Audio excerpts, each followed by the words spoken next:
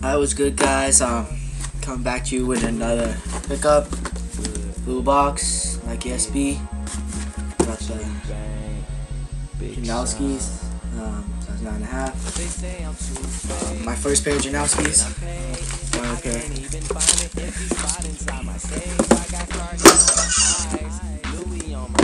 Um, really simple shoe. Really nice shoe. Um, came with OG box. Um, he didn't have the white laces. Just had the black. Let's shoe. Box down. Um, yeah. So, got the black white Janoskis right here. Really clean show. Really sim simple. Really nice. Um, suede. Really sm- like buttery. Really nice. Clean suede. Um, got the rope laces. See the tongue right here. Now see um, for daily use and the tag right there. We got the nice design inside. It says Nike SB with like this. design in there. See? white midsole, gum bottom, really nice. Not really much to gain about the shoe, but really nice shoe. Um, um, wearing my Vans on like for like everyday shoe. Might switch to these, you know.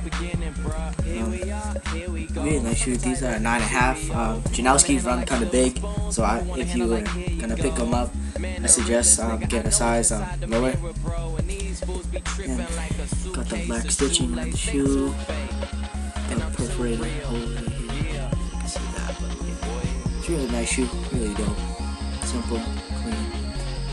And yeah, uh, I got this on a meetup for like 30 bucks. Good deal. And yeah, really nice shoe. Not much to review about it. Yeah, really nice. What I, what I found interesting about the shoe is the leather like going all around the shoe back here, here down the eyelids. Really nice shoes I can show you them on feet. Um, this is how they look on feet. Really nice shoe. Really simple. Um, my everyday shoe. Really simple, really nice.